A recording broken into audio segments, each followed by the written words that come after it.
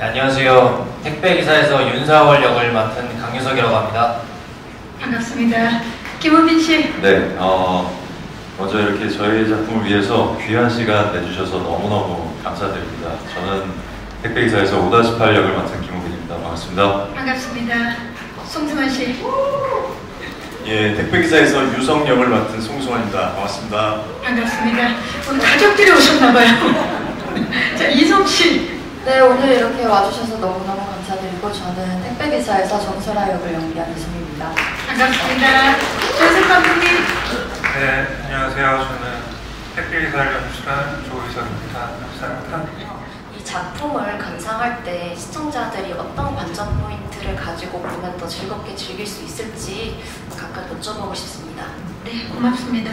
자, 그렇다면 강민석 씨부터 여쭐까요? 어, 어, 일- 떤 관전 포인트? 일단 각 배우들의 캐릭터들이 굉장히 매력 있기 때문에 어, 캐릭터들이 어떻게 어떤 색깔을 가지고 있는지 그리고 이 배경이 저희가 지금 살고 있는 현재 서울을 이 황폐화된 서울이기 때문에 아 여기가 여기구나 여기가 저기구나 라고 딱 생각하면서 보시면 굉장히 재밌을 것 같습니다. 김우빈 씨.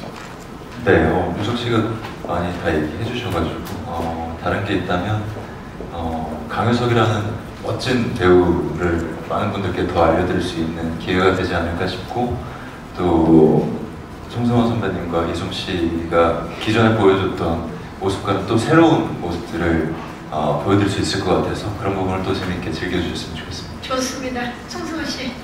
예, 택배 기사를 보시면 모든 게 좀 많이 새로우실 것 같아요. 일단 설정 자체가 그 미래에 사막화된 대한민국 서울을 배경으로 하고 있기 때문에 기존에 못 봤던 이런 드라마고요. 또, 또 저희 각 캐릭터가 또 제가 맡은 유석은 왜 저렇게 저런 행동을 하며 또 5-8과 4월이와 또 설아는 왜 이 천명그룹 유석과 맞서서 왜 저러려고 하는지 이들의 대립과 갈등에 초점을 주고 보시면은 되게 긴장감 있고 재밌을 것 같습니다. 네, 좋습니다. 이성 씨.